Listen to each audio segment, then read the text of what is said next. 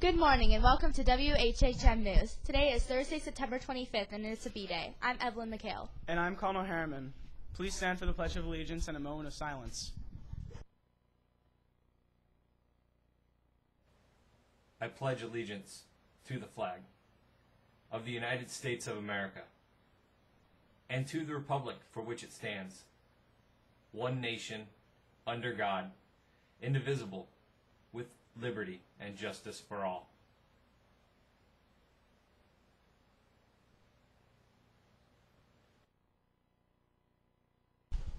Last night in sports, our football team lost to a very talented Beaufort Middle team, 55 to 6. Dean Seelbach Dean Seelbach connected with Jake Roberts for an acrobatic catch in the back of the end zone for the Stingrays' only touchdown. Tonight, the volleyball team faces our arch rival McCracken. The team is currently in second place in the league and looking to earn another W against Bluffton. Tickets are only $4, so come out and support the girls tonight. According to Coach Diorio, any student who attends will receive a free courtside photograph with Mr. Dixon. Wow, what a deal! Attention Model United Nations members. There will be a 30 minute meeting after school Monday, September 29th in room 621. Please be in Miss Clark's room by 225 and have a ride ready to pick you up at 255. If you have any questions, see Mrs. Wells or Miss Clark before Monday. Please bring your device if you have it and it works with you to the meeting. Today's weather forecast for Hilton Head. Some rain this morning with the clouds clearing and reaching a high of 80 degrees by midday. Tonight, some isolated showers late with a low of 70. This weekend, there's an 80% chance of rain each day. Don't forget your umbrella. This, this week's football pick'em contest is up and running on our WHHM Edmodo page. Again, this week, nearly 100 students and staff have submitted their picks. Each winners, each week's winners gets a prize. So check out our Edmodo page and choose your winners. A new sport has been popping up in golf communities around the country. It combines the basic concepts of golf with the foot skills of soccer, and it's called foot golf. Recently, some golf golf courses in the Hilton Head area have allowed their courses to become part of this new sport sweeping the country. See the on the packet video for a better look at the sport.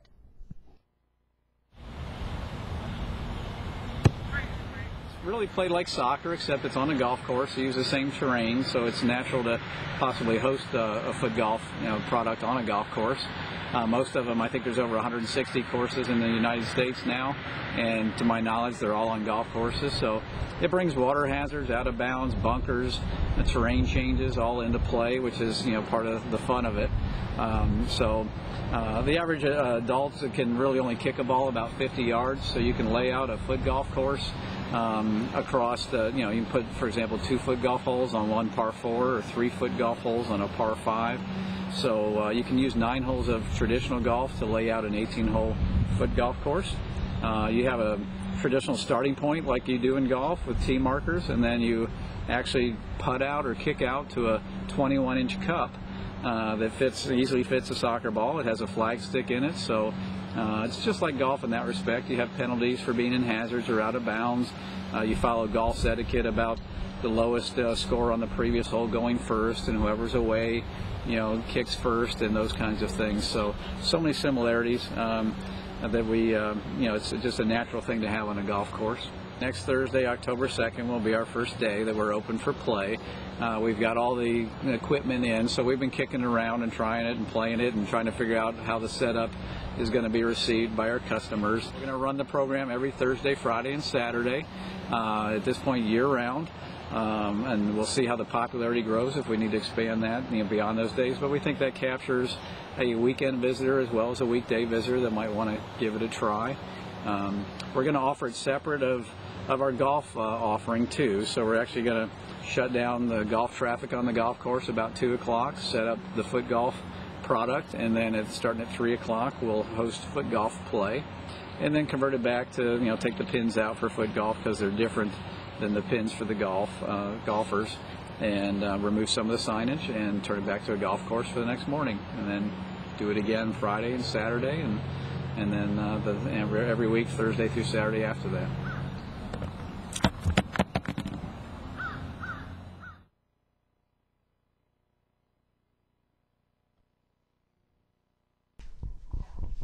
Today's show, we have three contestants participating in our live game show. Today's topic is Please introduce yourself and tell us what homeroom you are from. Sophia, and I'm from Tavino's homeroom. Um, I'm Charlene, and I'm Miss Bichowski's class.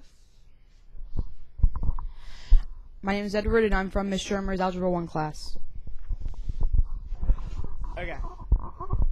Our first question What is the only bird that cannot fly?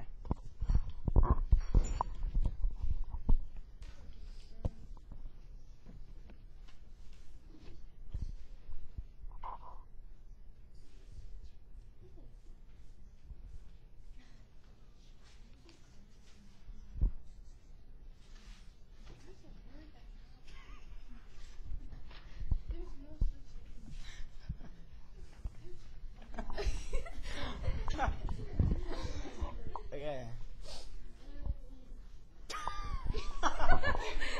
okay.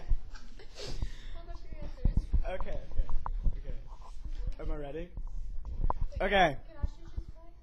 What? Shush. Okay, uh, Charlene, what was your answer? A dog? Because there's no such thing. Edward? Penguin. Ostrich.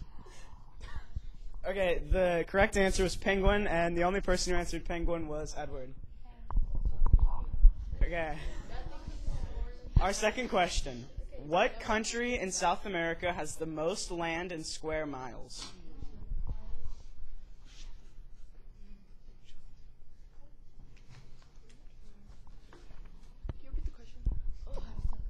Repeat the question. What what what country in South America has the most land in square miles? It, it's up there. Just shush. Shush. Shush your face. Just pretend something random again. Okay. This makes this more fun. Don't say dog. Do not say dog. You ready? Okay, the correct answer was the home of the World Cup, Brazil. Uh, Charlene, what did you put? Cat. Edwin? Argentina. Brazil. So, uh, Sophia's the only one that got that answer correct. So, yeah. Argent- Brazil, yeah. okay. Our third question What is the largest organ in the human body?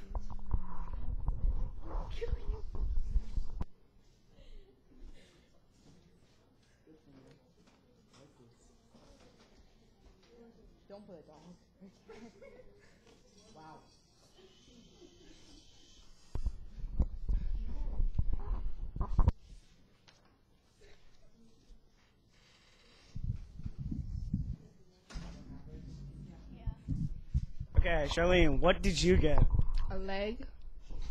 Edward? Large intestine. Sophia. Stomach. The correct answer is skin. What? Nobody got that answer correct. Oh, I don't have Uh, and, and our final question. This weekend, a future Hall of Fame baseball player, Derek Jeter, will be retiring from the major leagues. What team does Jeter play for?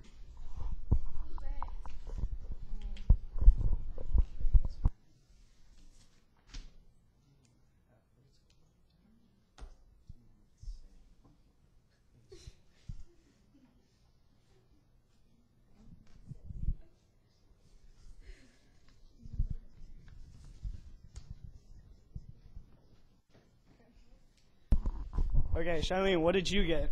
Basketball. Edward? New York Yankees. Sophia. A baseball team.